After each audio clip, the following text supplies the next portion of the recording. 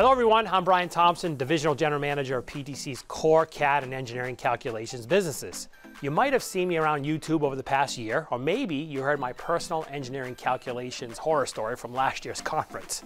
Well, I'm happy to be back again this year for our annual MathCAD virtual conference, and I'd like to briefly share my views on the state of MathCAD before today's fantastic group of speakers and guests begin. First of all, MathCAD is just an awesome product. It's easy to use, it has natural math notation, and with consistent units throughout. It's a comprehensive product with great engineering documentation capabilities that capture IP and can be reused and leveraged across your entire organization. It also can solve complex problems. Now, sometimes there's a bit of a misconception that MathCAD isn't able to solve complex engineering problems. Don't be fooled. It's got tremendous breadth and depth in its math library that enables incredibly complex problem solving, all while maintaining the natural math notation throughout the entire product. Now, we've recently ended the sale of legacy versions of MathCAD. You've probably heard that. And let me assure you, we've been working hard and allocating significant resources to making MathCAD Prime meet your standards.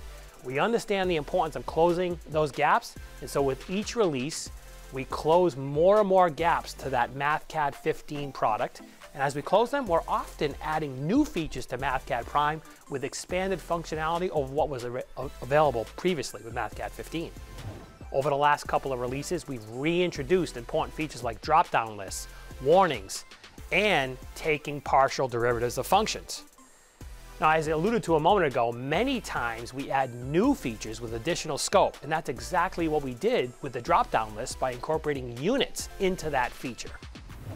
As we close gaps with each release, the fidelity of the conversion process also improves. It's still not perfect, but we will continue to improve it.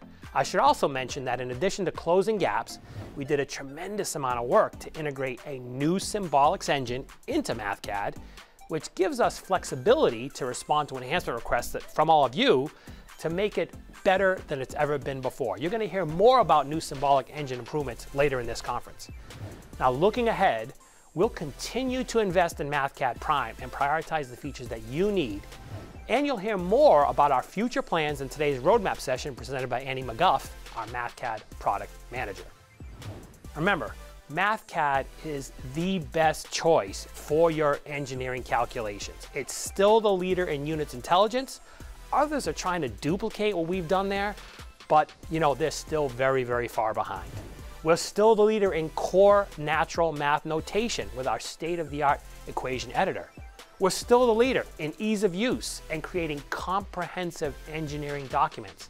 Engineering math documents look more professional and natural in MathCAD than anything you can create in any other software.